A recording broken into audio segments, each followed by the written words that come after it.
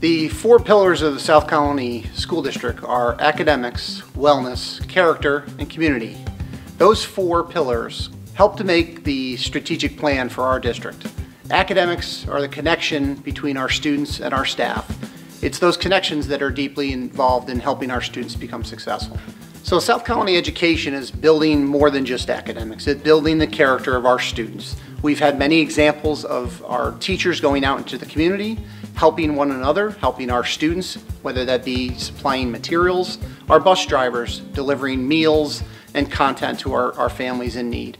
So these are identifications of character that I believe have made South Colonie a great place to work and a great place to live. During our pandemic time period, it's been even more important to develop our wellness. It's not only our mental wellness, but our physical wellness. So our staff, our students have been continuing to find ways to be creative, uh, helping to maintain a positive outlook and helping our uh, students become active uh, learners in our classrooms. Uh, from our drive-through parades to our um, virtual academy presentations to lunches with the principal. Those things are still continuing.